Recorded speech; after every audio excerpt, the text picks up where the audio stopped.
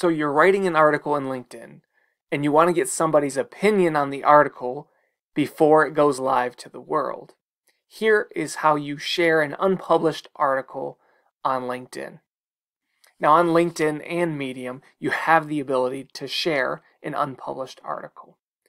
Now, click on Write Article from your feed page. This will take you to the publishing platform. Now, scroll over to where it says Publishing Menu.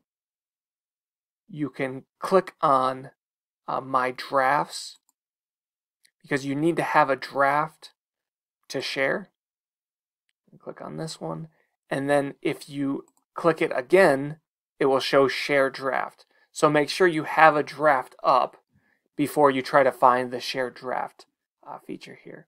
So then you can click on share draft and you can copy this link to share in an email or on social media um, or through a LinkedIn message. So share this message, uh, this link, and then anyone will be able to view the private unpublished copy of your article to allow you to get feedback and make changes before it goes live.